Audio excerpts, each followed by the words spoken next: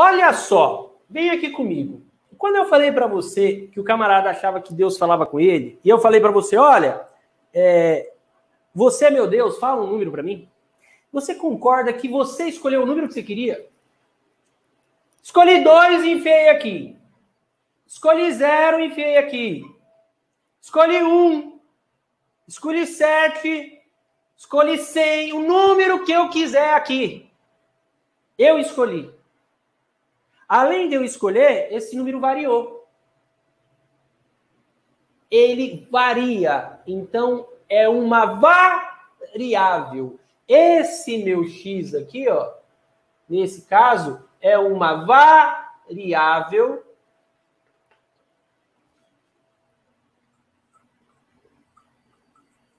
independente.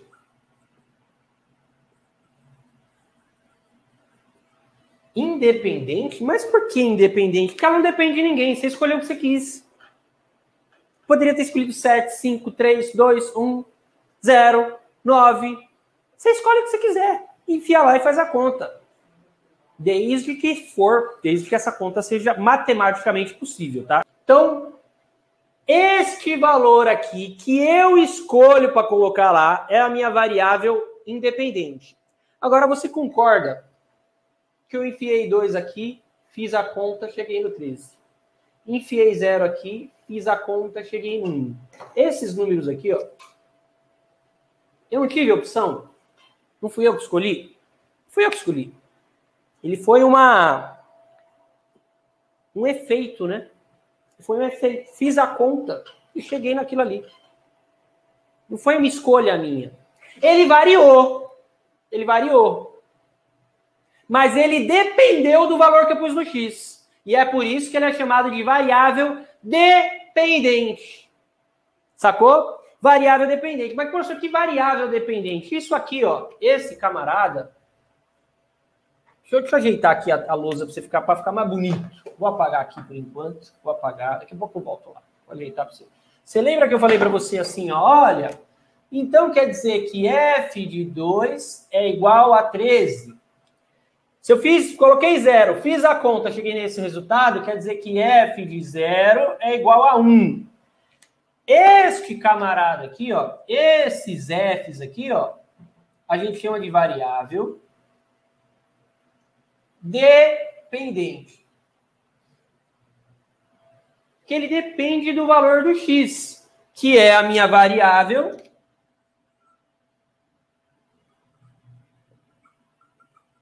independente.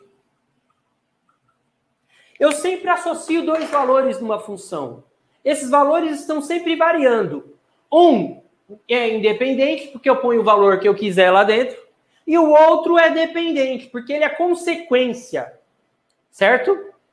Ele é consequência de alguma coisa. Ele é consequência do quê? Do valor do x que eu coloquei. Certo? Enfiei o valor do x, fiz a conta e coloquei lá. Certo?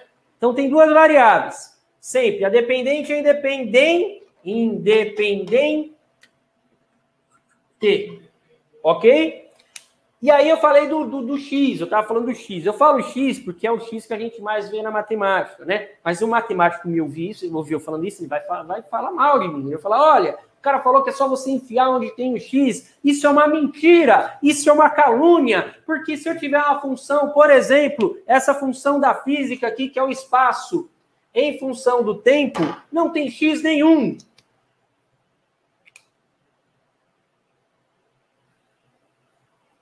Não tem x nenhum. O que eu tenho é S e T. Tudo bem, ele está certo. Eu falei isso só para você entender. O importante é você distinguir que existe uma variável independente que ela não depende de ninguém, que eu enfio lá o tempo zero e faço a conta, o tempo um e faço a conta, o tempo 10 e faço a conta.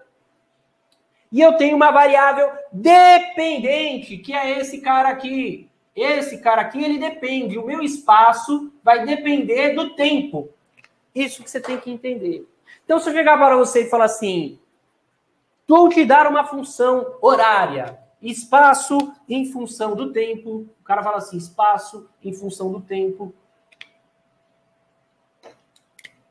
é igual S0, que é o meu espaço inicial. Ele começou no quilômetro 5 e andou numa velocidade de 2 metros por segundo. No, no, ele começou no metro 5, né? Ou no quilômetro 5, andou no quilômetro de.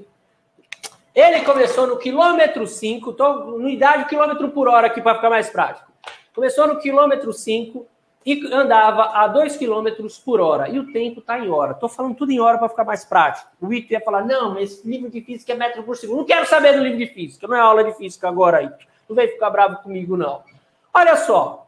Esta função é uma função que relaciona dois valores: o valor t e o valor s de t. O valor t é o tempo que eu estou falando para você que está em hora. O valor S de T é o, é o espaço, que eu estou falando que é em quilômetros. E aqui eu estou dizendo aqui, olha só, começou no quilômetro 5 e andou numa velocidade de 2 quilômetros por hora. Descubra e, e, qual, e qual posição o camarada tá no tempo 10.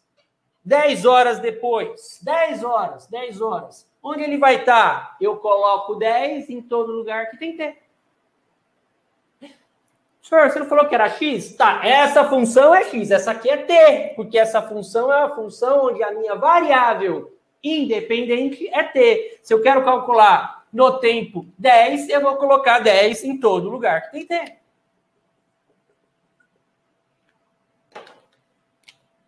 Faço essa conta.